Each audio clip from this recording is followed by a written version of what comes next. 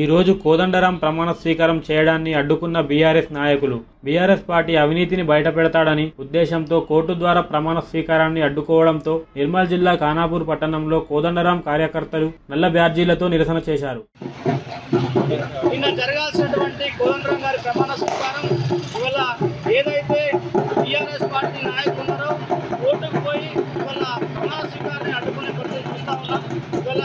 ఏదైతే